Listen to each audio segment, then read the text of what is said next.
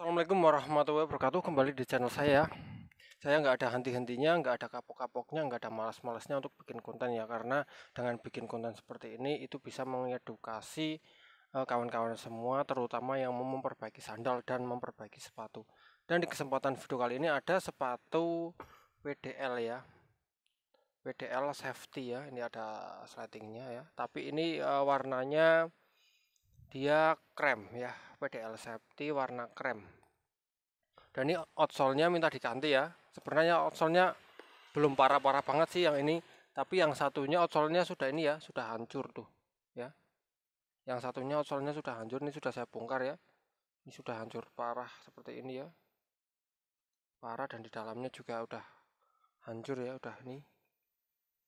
Kalau kawan-kawan lihat tuh ya outsole-nya udah hancur jadi ya yang satu masih agak bagus tapi yang satu udah hancur. Dan harus diganti semua ya harus diganti dua-duanya kanan dan kiri. Dan ini juga harus saya bongkar ya agar nanti bisa dipakai dipakein sol baru ya. Oke mari kita simak di meja pengerjaan. Oke langsung saja kita bongkar ya. Ini juga sudah terbuka ya sebelum dibongkar sudah ada yang terbuka. Ini membuat saya lebih mudah dalam membongkar nantinya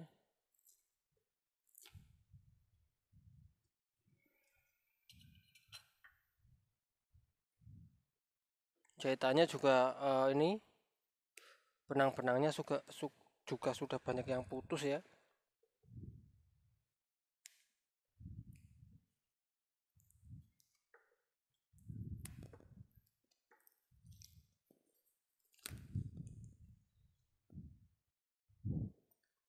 Ini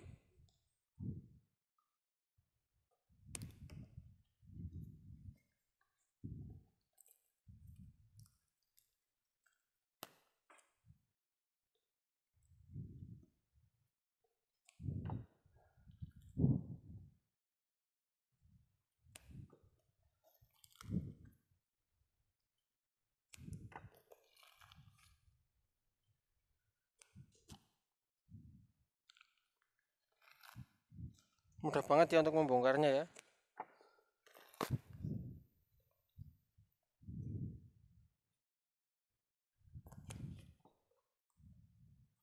Ini ada kayak pasir-pasirnya ya saya mau buang dulu ya. Ini mungkin bekas dipakai di uh, yang berpasir atau di di daerah pantai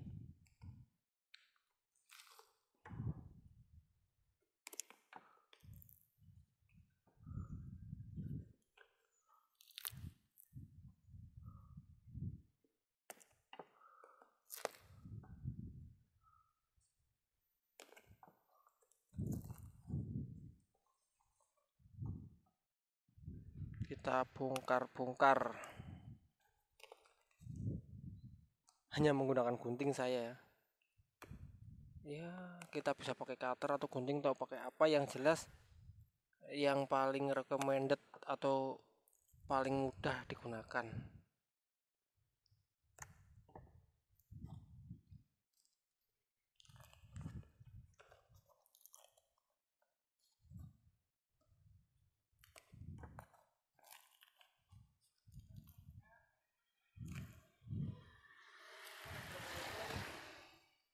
Hmm, sudah hampir terbongkar semua ya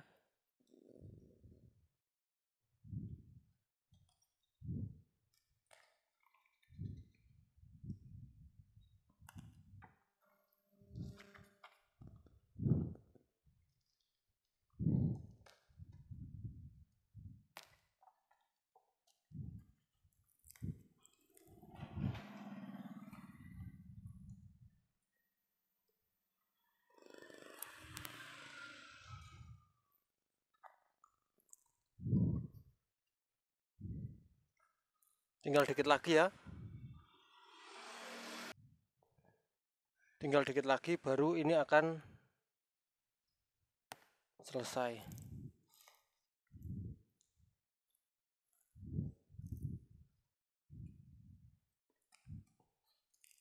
Sudah selesai ya sudah terbongkar semua. Kawan-kawan bisa lihat ya.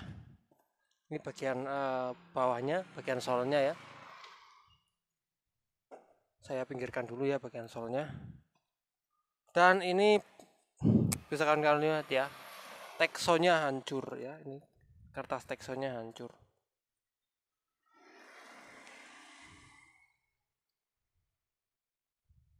Dan ini harus diganti ya kertas teksonya karena sudah hancur seperti ini. Ya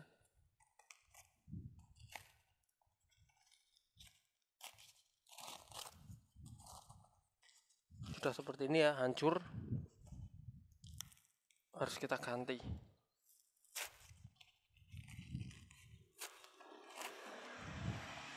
Kertas Texon atau kertas Uniflex adalah kertas yang ada di di dalam ini ya di dalam dalam upper ya ada di dalam ada di bawah.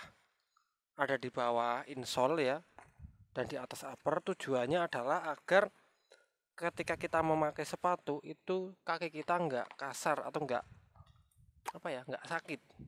Karena permukaan uh, outsole yang seperti ini ya yang kotak-kotak dan seperti ini dan ini membuat uh, kaki kita nanti sakit ketika kaki kita langsung terkena di bagian outsole ini. Makanya Texon ini tujuannya adalah untuk melindungi bagian sini ya agar enggak ini enggak langsung kaki kita kena ke bagian outsole ini. Bang kan udah ada insole ya insole itu enggak jaminan ya insole itu enggak jaminan bisa melindungi. Contoh misal ini ada insole ya ini ada insole kita ketika kita pasang di sini ini akan cepat jeblos-jeblos seperti ini juga ya karena insole itu enggak kuat.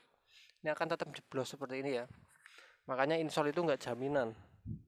Harus pakai kertas Texon. Dan untuk penggantinya saya di sini ada kertas Texon seperti ini ya. Ini ada tulisannya kertas Uniflex ya ini. Uniflex ini kuat banget ya. Ini enggak akan uh, ini enggak akan uh, seperti tadi ya karena ini kertas Uniflex ya. Kan kan bisa dapatkan kertas ini di toko online banyak kalau di daerah sekitar nggak ada ya. Tulis aja kertas Texon atau kertas Uniflex nanti akan ketemu juga. Jadi dia dipasangkan di bawah ya di dalam sini ya ini kertas Uniflexnya. Dan untuk outsole pengganti saya juga uh, memakai ini ya. Nah memakai sama. Atala ya Atala ya Atala itu sama seperti ini ya hampir sama cuman agak-agak beda-beda warna sedikit ya ini Atala. Nomornya juga sama 41 ya. Untuk bawahnya ya kawan-kawan bisa lihat sendiri ya e, sama sama ya. Sama persis ya untuk belakangnya juga sama persis karena ini tipenya sama Atala ya. Kawan-kawan bisa lihat ya sama. Cuman ini beda, agak beda warna ini keren banget ini ya seperti ini ya. Agak kuning-kuningan tapi ini dengan nomor yang sama. Dan untuk mendapatkan outsole Atala ini kawan-kawan bisa uh, searching atau bisa kunjungi Instagram saya ya uh, karena link pembelian sudah saya share di Instagram di sorotan ya terutama. Oke ini kertas Texon ini akan saya kembalikan dulu singkirkan dulu ya yang ini. Dan ini saya memakai outsole baru. Dan tentunya ini akan saya pinggirkan karena yang satu uh, sudah saya pasang teksonnya ya ini. Hasil ketika tekson sudah dipasang ya. Nah ini ya. Ini sama ini kertas uniflex sama. Ini yang belum terpasang ya kertas uniflexnya jadi seperti ini. Ini adanya insole ini insole ya.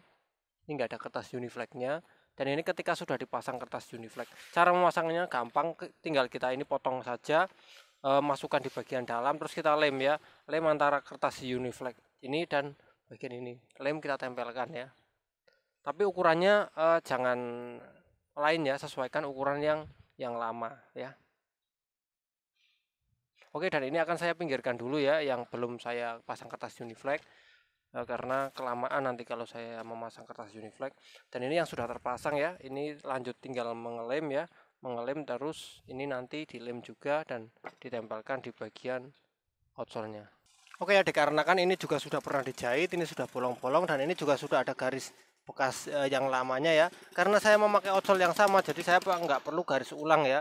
Pasti hasilnya akan sesuai dan sama dengan yang garis lama.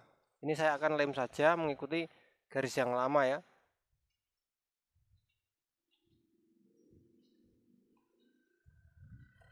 Saya akan lem mengikuti garis yang lama karena paling juga nggak akan jauh-jauh dari garis yang lama ya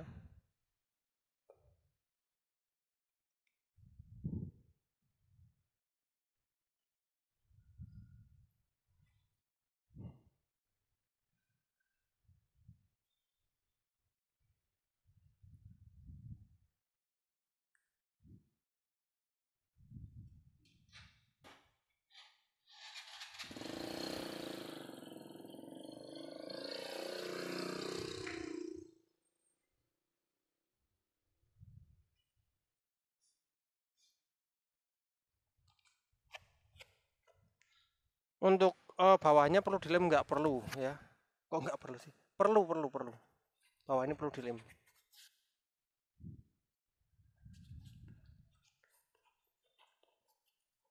Ya sudah terlem semua. Kita kita letakkan ya. Nunggu kering. Dan kita uh, lanjut mengelem di bagian ini ya. Tapi sebelum uh, dilem kita bersihkan kita amplas dulu ya. Ini karena berhubung sudah saya amplas sebelumnya jadi nggak saya amplas lagi.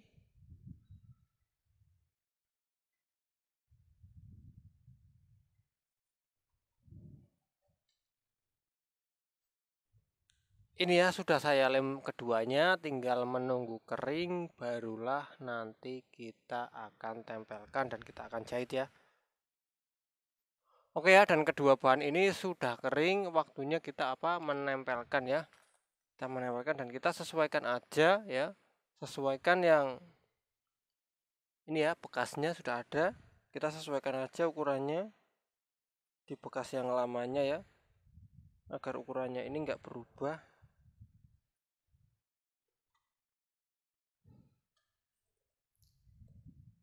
Kalau depan sudah uh, lanjut uh, belakang ya.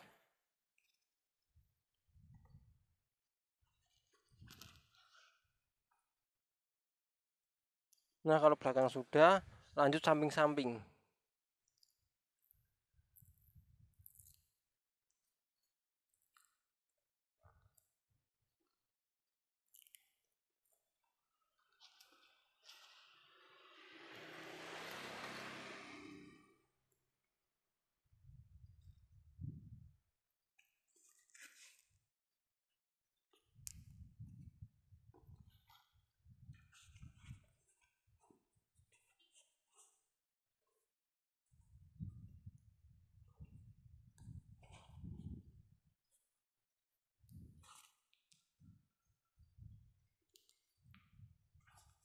Oke ya, ini sudah selesai.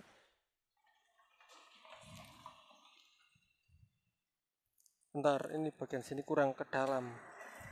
Hmm, ini sudah ke dalam. Nah ini ya, pengaleman sudah selesai dan ini emang nggak sengaja nggak saya sesuaikan dengan yang lama ya agar dipakai tidak terlalu sempit ya.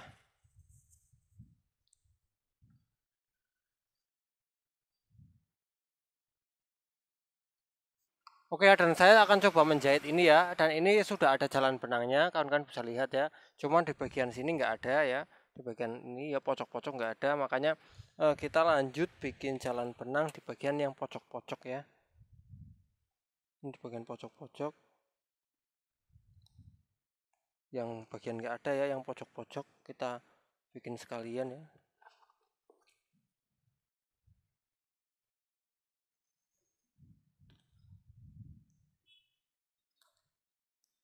kalau ada yang tanya bang itu kalau nggak dijahit gimana?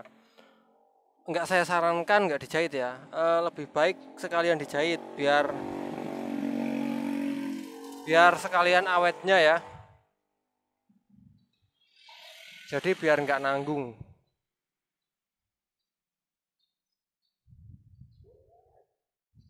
Untuk benang yang mungkin sama persis sama banget saya adanya benang yang nomor 9 ya jadi kurang cocok.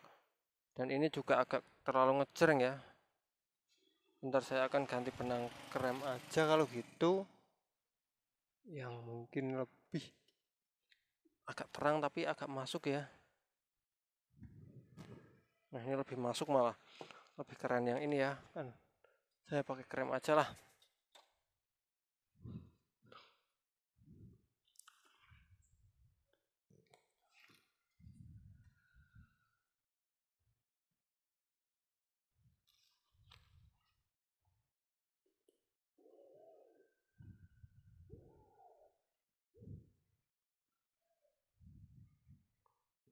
ya seperti ini kita jahit aja langsung.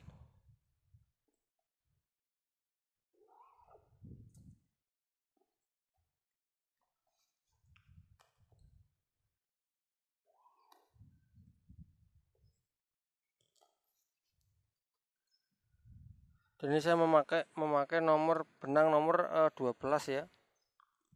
Agar lebih kuat jangan pakai nomor 9 karena itu terlalu kecil dan ingat karena yang kita kerjakan adalah sepatu PDL ya. Safety. Jadi kita harus menggunakan benang yang agak agak besar ukurannya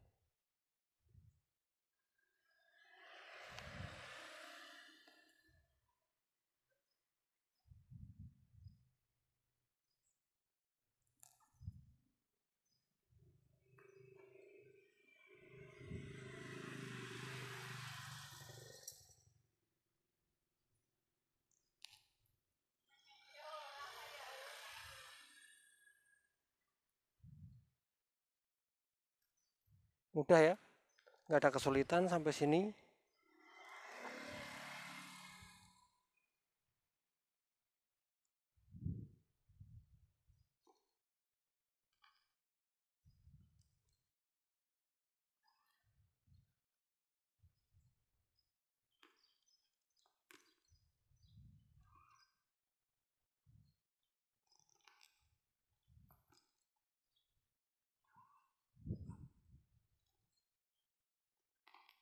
jadi menjahit sesuai alur yang sudah ada ya. Jangan membuat alur sendiri. Karena alur yang sudah ada ini sudah sesuai.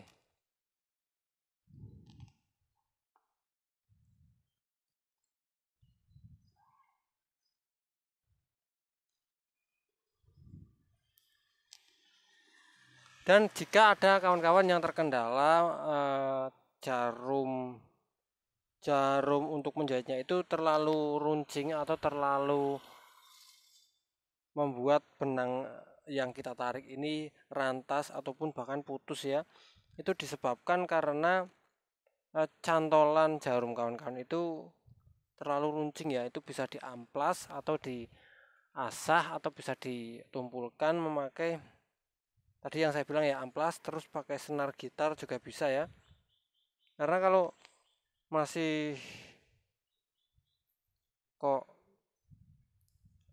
tajam terus kita gunakan saja nanti hasil benangnya akan putus-putus terus ya. Makanya saya tuh lebih suka membuat jarum sendiri daripada harus beli ya. Karena kalau saya membuat jarum sendiri itu ketajamannya bisa saya sesuaikan sendiri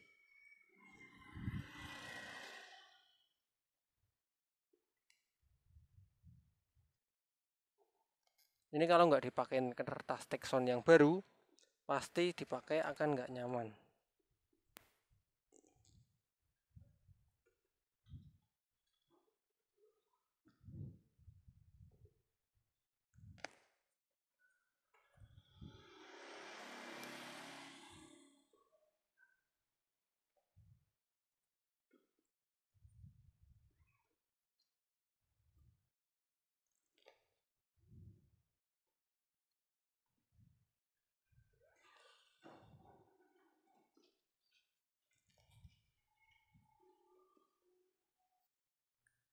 nggak terasa ya saya sudah nyampe di bagian depan.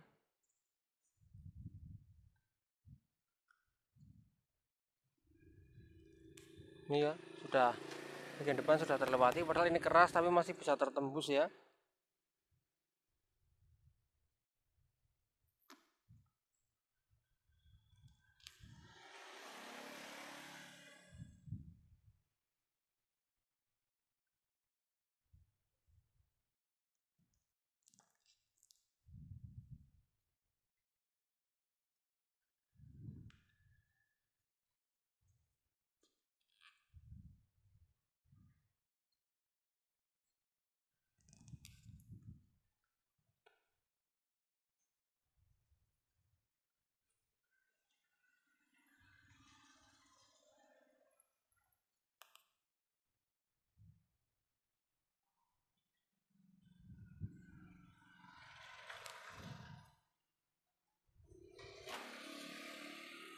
ini ya kurang segini baru nanti selesai.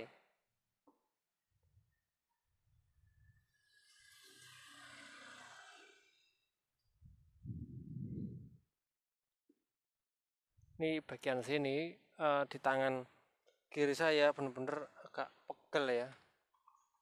Karena harus masuk ke dalam sepatu terlalu dalam tangan saya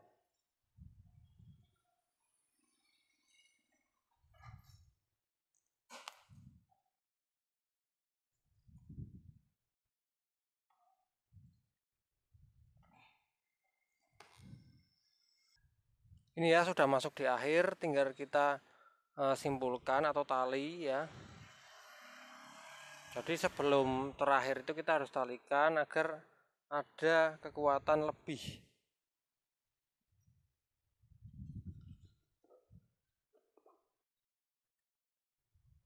Ya dan ini terakhirnya di sini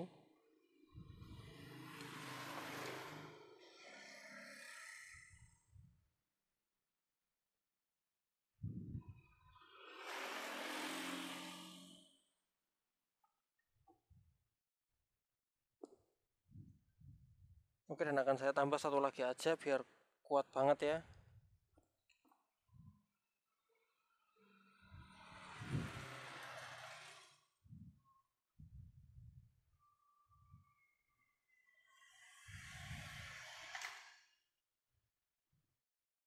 Ini ya sudah selesai tinggal kita potong. Potong bagian benang dalam. Terus kita rapikan dan kita merapikan memakai uh, jarum pendorong ya.